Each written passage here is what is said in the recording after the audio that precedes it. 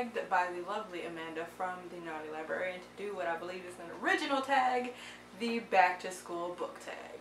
Lego.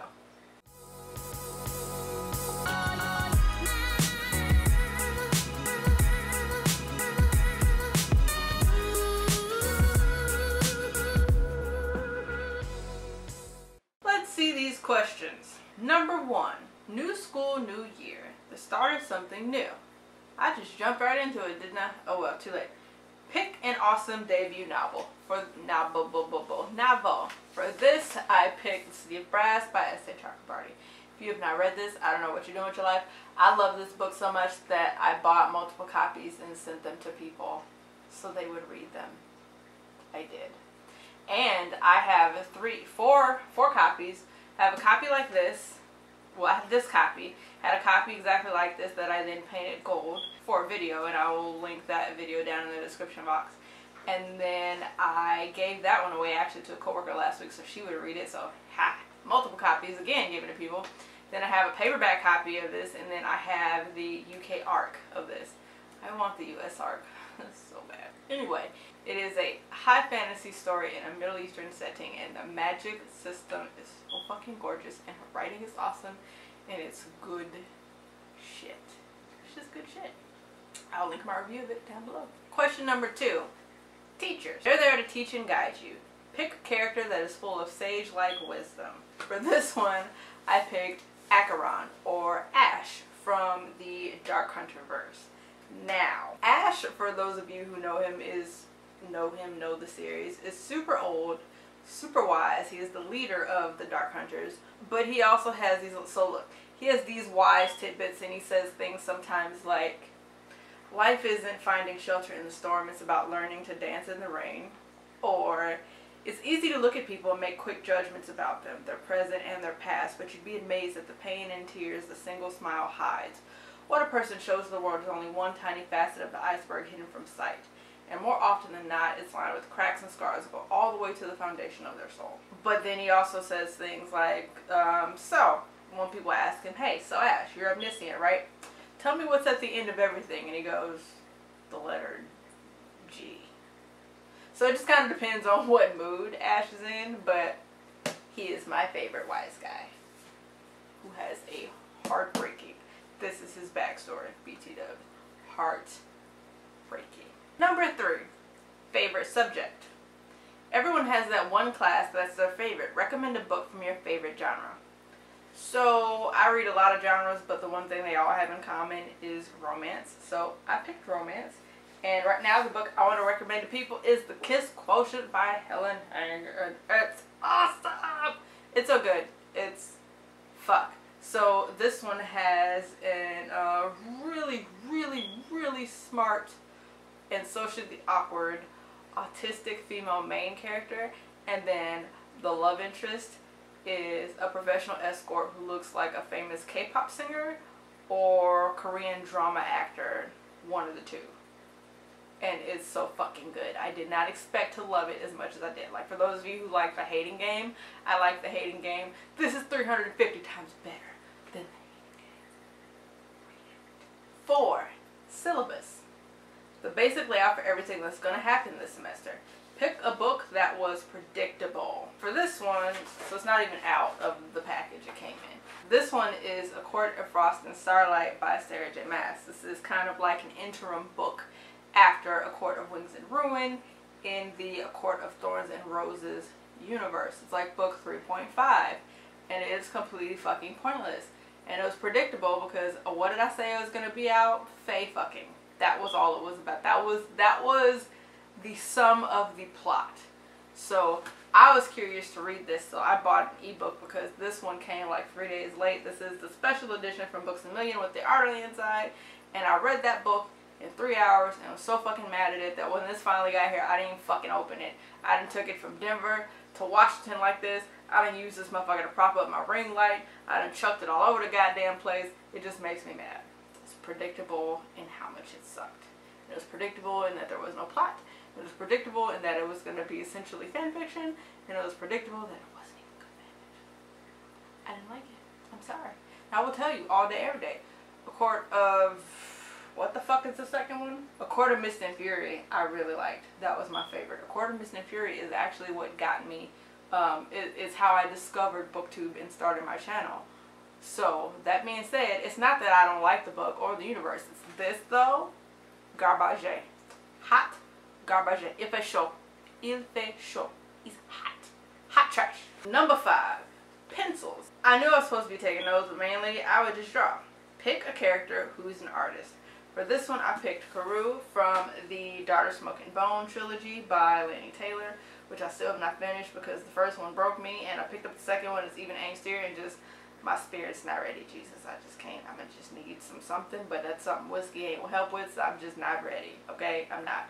So I've only read the first one, but it is gorgeous. It is heartbreakingly beautiful. The story is really, really, really gorgeous, and I don't know how the characters from this one are gonna work it out in book two but the world and the magic system, even without the beautiful story, like if you like the darker shade of magic and you're like, I didn't really connect with the characters, which was my thing, and the world building though was great. This one's got like characters that just rip your heart to shreds, and then the world that just keeps sucking you back in when you want to put it down because the characters rip your heart to shreds. You just can't.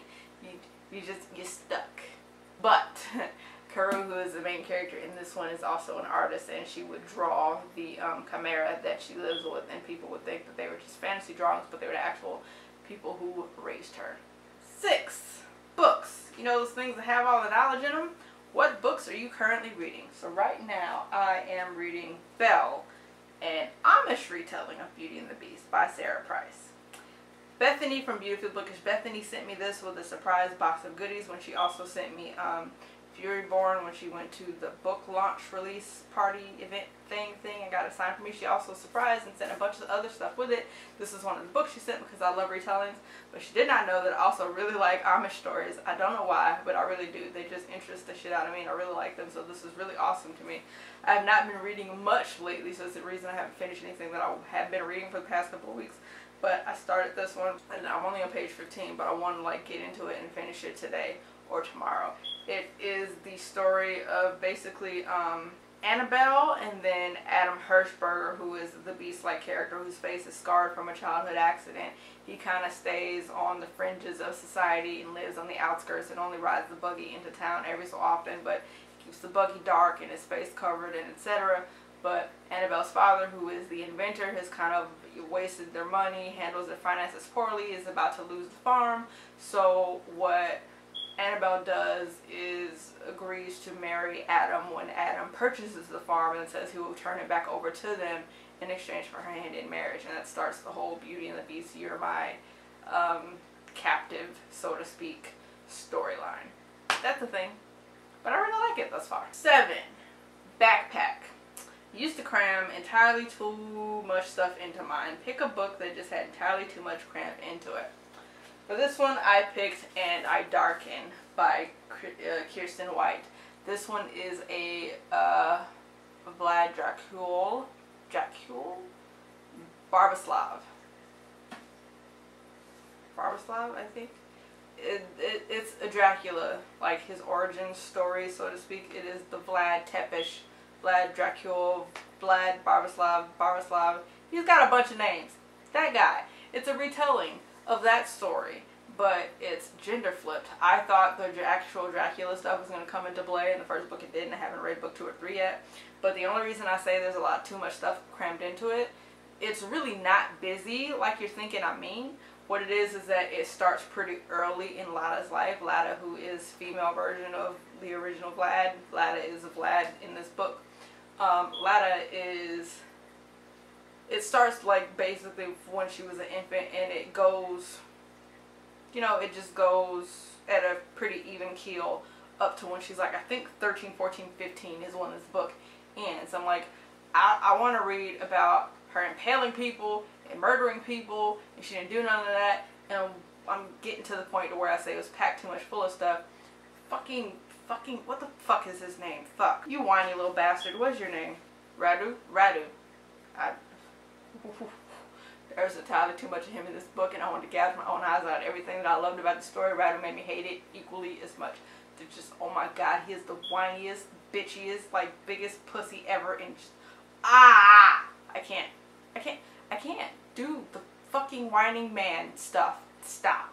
Now, if this was 2018 and you're like 15, 16 and you whine, you're a child.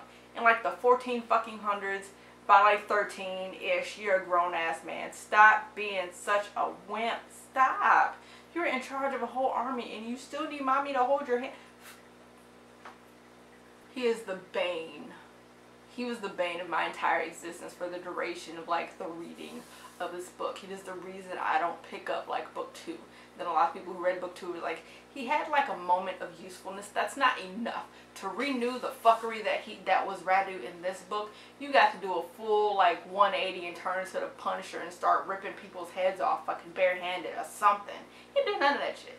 You just there was too much Radu in this book, and the storyline dragged on. I feel like too much in like the beginning. I we needed the backstory and I get that, but I'm also like the impatient person that wants to get to like the story part this whole book felt almost like a setup for book two, like the whole book. And for a first book, I want to like get into some like more meat and bones first to get into the actual like fight for her kingdom part instead of just like the learning why and like learning her personality. And that wouldn't have bugged me if I had spent so much time whiny fucking Radu. I just, oh god, it was painful. This book was like a four or five star read for me, plus the ending. Like, I really love this book, but that motherfucker Anywho, number eight, school friends. Tag some people. So I want to tag Brandi from Brandi Janee's Bookshelf. I want to tag um, Steph from Steph's Romantic Book Talk. Romance Book Talk. Why do I always do that? I want to tag Steph from Steph's Romance Book Talk.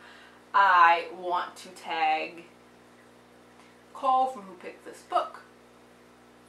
I'm just going to go down the list because I always have to like go through the people I'm subscribed to to get names and stuff and I just I just I screw it up. So I'll do that and I'll link all those people down in the description box and then go tell them on the Twitter that they're tagged. This was really fun I like these questions so thanks to Amanda for tagging me and creating such a fun tag I will link her tag duh also down in the description box. And if you like this video give it a thumbs up and don't forget to subscribe for more salty awesomeness and I will catch you guys later. Bye